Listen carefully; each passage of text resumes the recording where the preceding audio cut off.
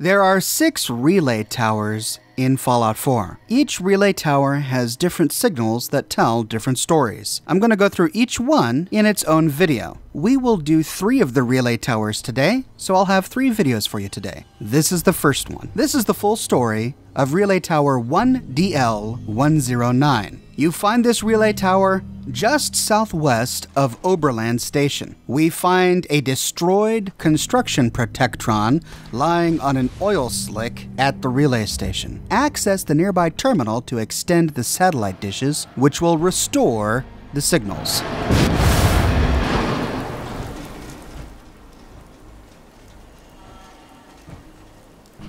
The first signal is Garbled Radio Beacon. You only get this one if you're over level 20. As you follow the Garbled Radio Beacon due east, it becomes more clear.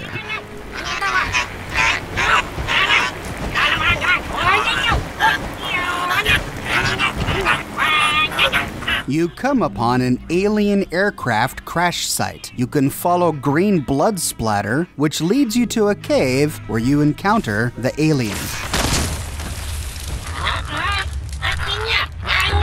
Turning off the ham radio in this cave will turn off the garbled radio beacon. If you happen to miss the random encounter where you see the spaceship fly overhead, you can always go to the relay tower and follow the garbled radio beacon to find the alien. Strangely enough, his wreck will not be there even if you are over level 20 unless you either see the spaceship land or activate the garbled beacon. At least that's the way it was in three different playthroughs of mine. If you'd like to learn more about this UFO, I did an entire video dedicated to this topic which you can watch here. And next is the distress signal. This signal becomes more clear as you walk south along the train tracks near the relay tower. If anyone can hear this, my son and I are trapped and need help.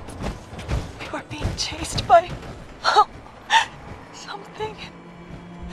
But we're able to escape into this train car. It knows we're in here, though. Thomas is hurt It needs. Oh no! It got the door open! Run, Thomas! Get out! This has been a pre recorded message. Message repeats in three seconds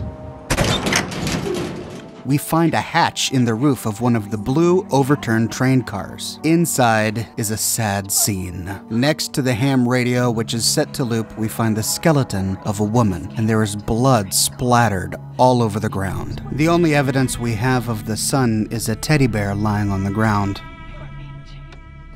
I left the train car to try and find any evidence of the son, any evidence that he made it. I stumbled upon two feral ghouls, one of whom was legendary, which are likely the ghouls that killed the poor mother. Given that they are not inside the train car, they likely chased the son as he fled. The other train cars on the tracks don't have anything interesting in them. You can follow the tracks south to explore an overpass and some wrecked cars in the tunnel underneath. There's a switching tower nearby, and if you climb up top, you find a hatch that leads to a way station. Sadly, inside there isn't anything dealing with the son. Instead, we find what appears to be a surgery center, but something has clearly gone horribly wrong. The body of a female settler lies on the table. On the ground next to her is a big blue plastic crate filled with human body parts, lower jaws, and skull fragments. There's a nearby table with a sledgehammer, a machete, a bowie knife, and other other cutting implements. At first, I thought this was perhaps another amateur face surgeon like Doc Crocker performing facial reconstruction surgery,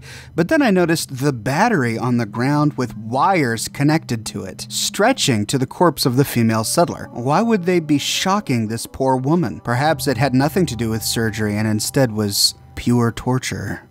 I never did find any other information on the fate of the son. The final beacon is the Boston City Works beacon, which takes us due west of the relay tower. Here we find a lock. A group of three mongrels attacks us. After they are dispatched with, we find the corpses of two raiders lying here. These are likely victims of the mongrels. As we walk across the lock, the beacon gets more clear. Okay, looks like a reactor malfunction in sublevel D. System locked the gates down. Again. I guess I'm gonna need a manual override. Look, Spiegel, I know you've got pressing matters like reading that latest copy of La Coiffe to attend to, but when you find time, let me out, okay? Meanwhile, I Guess I'll loop this thing and have a smoke. Try what you're doing up there, you lazy skeezer. This has been a pre-recorded message. Message repeats in three seconds. There's a door on the left hand side that leads to the lock operations. Inside, we find a desk and lots of storage. There's an explosives crate against the wall. Nothing terribly interesting until you look in the far back and you find a hatch on the ground, which leads to the reactor level. The reactor level is partially caved in. Here we do find the nuclear reactors, which look like they're still working. They give off a lot of rads. And in the adjacent room on a desktop, we find the ham radio. Switching it off turns off the beacon.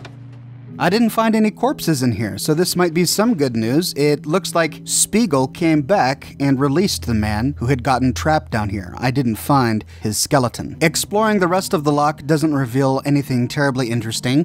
There's a warehouse on the other side with minor loot inside. You can go up a ramp to the top of a destroyed building to overlook a submerged town. This is Forest Grove Marsh. We'll save this place for another video another day. Heading down into the lock, we find a ship that's been stranded. There's nothing terribly important on the ship. If you get out of your power armor and swim around, you can find a bunch of shipping containers. And at last, we do finally find a skeleton underwater, squeezed between the shipping containers, holding a ProSnap camera. Could this be Spiegel? Or could this be the guy that at one point was stuck in sublevel D? I guess we'll never know. And that's the full story of Relay Tower 1DL 109. As I said earlier, this is only the first of six of these relay towers, and I will be going through each of them. I've got two more of these scheduled for today, so be sure to subscribe to this channel so that you get notified when I publish my next video on the next relay tower. Thanks for watching, everybody.